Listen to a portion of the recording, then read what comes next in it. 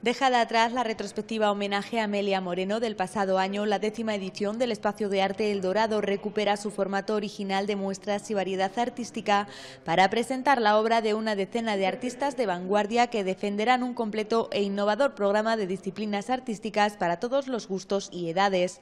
Un evento que se llevará a cabo del 14 al 29 de septiembre y que convertirá a Quintanar de la Orden en sede internacional del arte contemporáneo.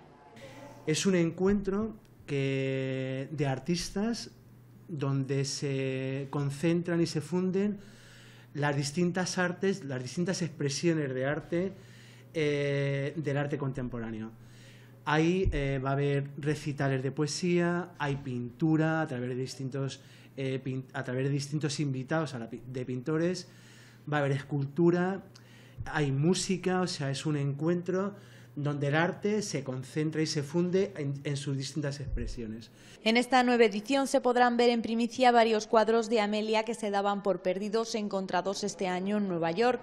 Junto a ellos las obras de Carlos León, Isidoro Valcárcel y Antonio Pérez.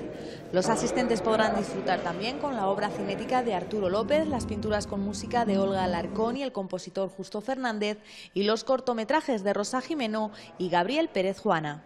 También se va a hacer participar y a, los distintos colegios para que puedan asistir los alumnos en visitas guiadas a este evento de, este recinto del Dorado. Finalmente, para los sábados por la noche se han preparado varios actos exclusivos como una performance poética, la realización de un cuadro en directo, un concierto de música contemporánea y un taller de poesía para niños.